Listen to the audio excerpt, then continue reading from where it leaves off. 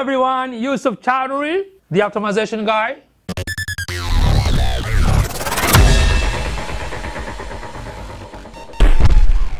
Today's topic, SEO strategy, the selling enormous octopus strategy. No, no, I'm just kidding. Uh-huh. Our last episode, we talked about what is SEO.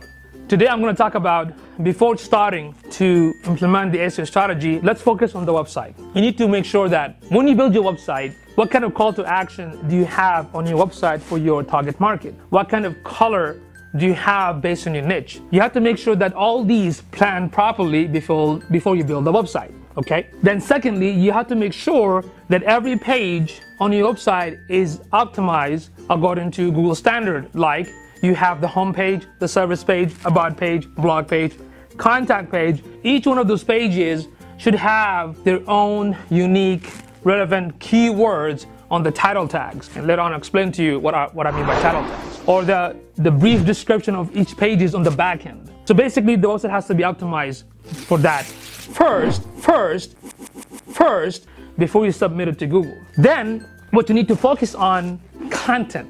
You have to provide an amazing, valuable, wowing content that will make your customers or your target market share it, learn from it, and tell others about it. If you do this on a consistent basis, eventually Google bot or the spider will notice it, it'll pick you up, and will push you on the first page within some time because it's not going to happen quickly. It has to be naturally, organically, where you put content and step by step, you will notice that that you're getting traffic and eventually it's going up. One of the main elements that a lot of businesses miss before getting to the keyword research, before getting to the on-site SEO optimization is the usability factor. What does that mean?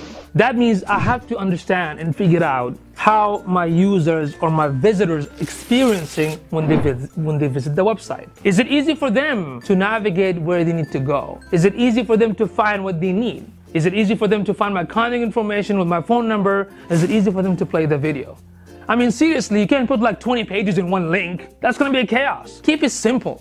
In, in this day and age, everything is about visual. Don't put too many text everywhere. Have some uh, attractive, uh, relevant images within your business that they can see. So that's from design perspective because it doesn't matter how many traffic you put on your website. If the website is not easy for them to view or look what they need, they're gonna leave your website, and that's not good for SEO. Actually, I'm kind of tired. okay. Until next time, this is Yusuf, the optimization guy, and you've been Yusufied.